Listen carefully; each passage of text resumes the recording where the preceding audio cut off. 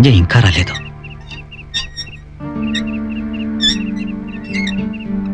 ఇంత రాత్రి అవుతోంది. ఎక్కడికి వెళ్ళి ఉంటుంది?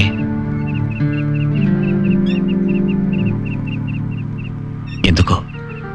ఈ మధ్య కన్య ప్రవర్తన విచిత్రంగా ఉంటుంది.